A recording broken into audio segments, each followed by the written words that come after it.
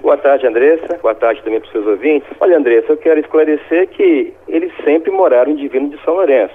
O que acontece, antigamente, os mapas, cartografia ficava mais guardadinha nas gavetas, né, nos órgãos públicos, nas bibliotecas. Hoje, como todos nós sabemos, eles estão a um clique no computador. Então você se consegue enxergar na mesma hora em relação ao seu município, em relação ao seu estado, em relação ao mundo. Então, isso que antes estava guardado, agora está publicado e a pessoa se enxerga automaticamente. O que o IDAF fez, na verdade, foi simplesmente publicar alguma coisa que já está consolidada, no caso dos municípios de Divino de São Lourenço e Guaçuí, né, que é o ponto de reclamação, algo que já está consolidado desde a década de 60, né, nas leis 1919 e 1915, e essa segunda que eu falei, 1915, foi a lei de criação do município de Divino de São Lourenço. Então, esse trecho que fica ao sul aí do município, que a gente fala dessas localidades, Serra Azul, Pedra uhum. Preta, Vista Sim. Alegre, elas sempre foram, essa, essas áreas sempre foram de Iguaçu, Exatamente. então? Exatamente, Andressa. Essas áreas já estão descritas nas leis de criação e que descrevem ali a, os limites entre esses municípios. Não é nada novo, já tem mais, alguma coisa tem mais de 50 anos aí. Então, o que aconteceu foi que nós publicamos e as pessoas que tradicionalmente se achavam que estavam no município, tinha aquela referência do pai, da mãe, né? Cresceram ali naquela região. Hoje, com esse, com o advento do cadastro ambiental rural e das tecnologia, tecnologias de geoinformação, elas se enxergam realmente a qual jurisdição pertencem. E aí, quando você fala dessa tecnologia, explica pra gente, porque a gente ouviu de alguns moradores ali da localidade, ah, ah eu achava que daqui do córrego pra cá era Guaçuí do córrego para lá de Vino São Lourenço. Explica pro pessoal que está ouvindo, principalmente da zona rural, como é que é essa tecnologia? Ah. Olha, o que o IDAF faz é interpretar a lei, pegar a lei de criação do município, interpretamos a lei e a lei descreve por onde passa a linha de divisa ela passa pela bacia hidrográfica, pelo córrego, né?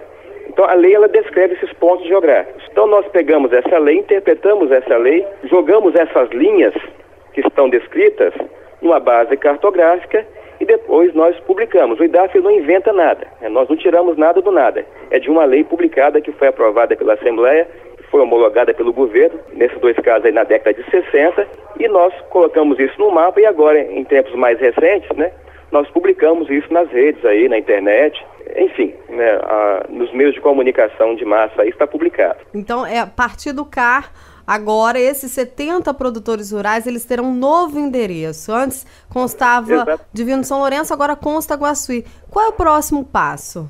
Olha, o CAR, na verdade, é, é a certificação ambiental da propriedade rural. Né? O produtor, ele não vai ter impedimento de receber o certificado do CAR no IDAF embora esteja com um documento divergente de sua localização. Então o IDAF ele vai certificar para o produtor, qualquer um desses 70 aí que você mencionou, ele estando né, no município e tendo a área registrada em outro município. Isso não é impeditivo para a gente.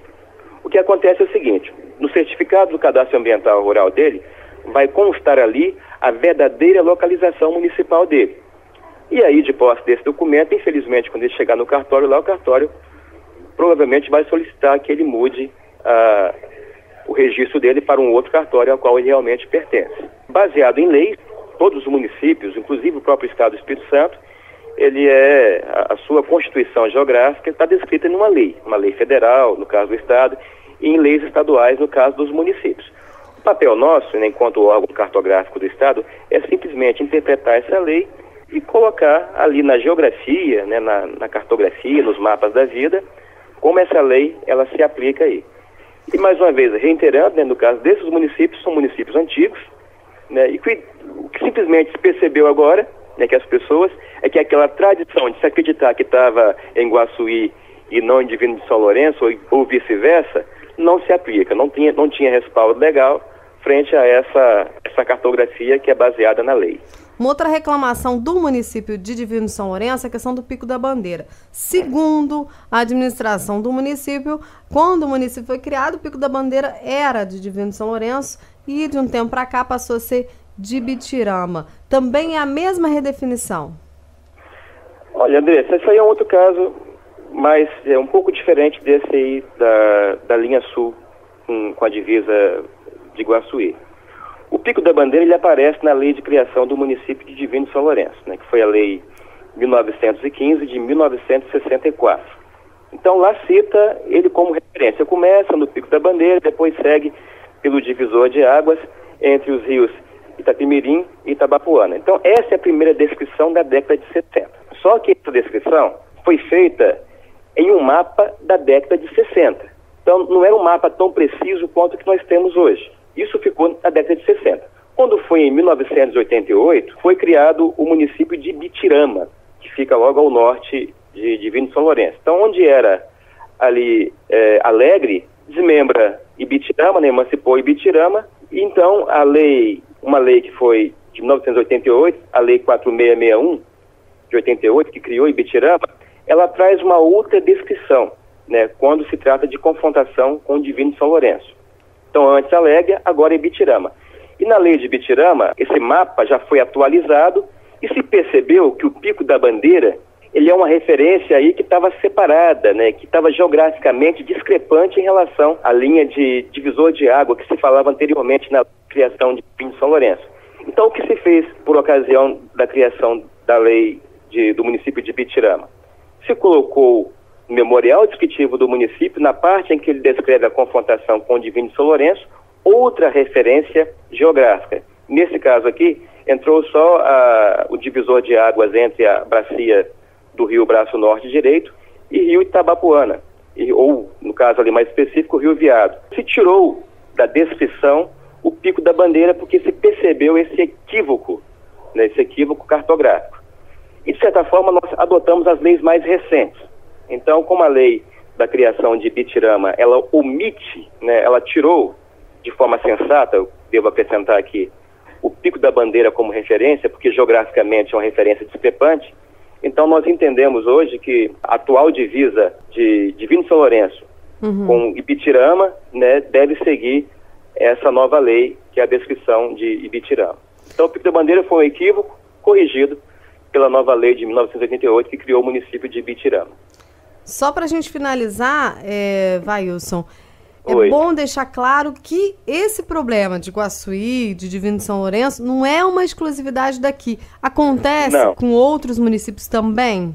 Acontecem sim. Essa questão do, da pessoa que está lá na propriedade rural dele, perceber né, e, e ter aprendido, ter é, herdado esse conhecimento que pertencia a um município ou outro, isso é coisa antiga, né? Então isso vai se perpetuando de pai para filho, para neto, tem também as questões das emancipações, né, que ao longo dos anos você tem desmembramentos, emancipações de diversos municípios, e as pessoas às vezes passam ali a adotar isso como uma verdade. Mas é uma verdade, às vezes, que não coincide com a verdade legal. Né, que o caso do IDAF aqui, nós adotamos aquilo que é aprovado pela Assembleia Legislativa e é sancionado pelo governo do Estado, que é a nossa, o nosso parâmetro legal. E isso, às vezes, é divergente do entendimento, né, daquele conhecimento que a pessoa tem lá no interior.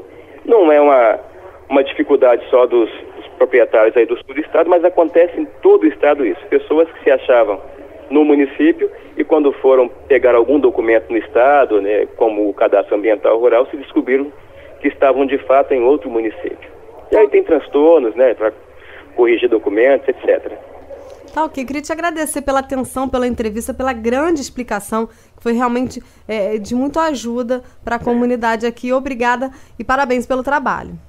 Obrigado, Andressa, e quero dizer que o IDAF está, está à disposição né, da população, aqueles que quiserem que nos consultar. Os nossos arquivos são abertos e a gente está aqui aberto para qualquer esclarecimento desse assunto ou os demais assuntos que pertencem, que são de atribuição nossa aqui.